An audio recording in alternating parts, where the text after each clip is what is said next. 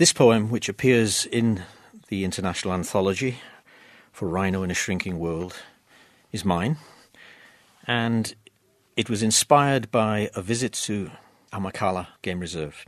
And I was fortunate to be able to join a crash of rhino out there on a private game drive.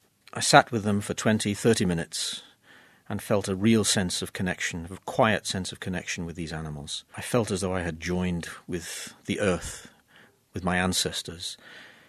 I wrote the poem, but I didn't know what to call it until somebody told me that the Xhosa word for an ancestor or the oldest of the old is Eyona Indala. And that's what the poem is called Eyona Indala. Eyona Indala.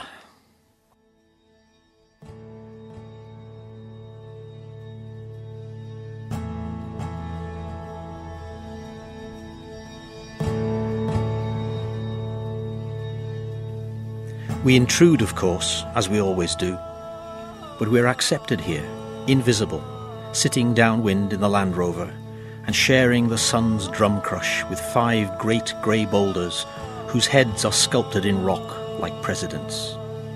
It is hot, growing hotter, this time slip into African prehistory, a long migration from the angry snarl of freeways.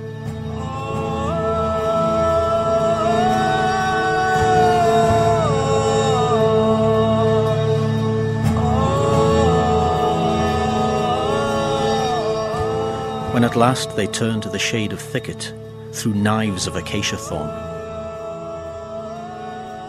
They make no sound, none at all, these giants of the moon.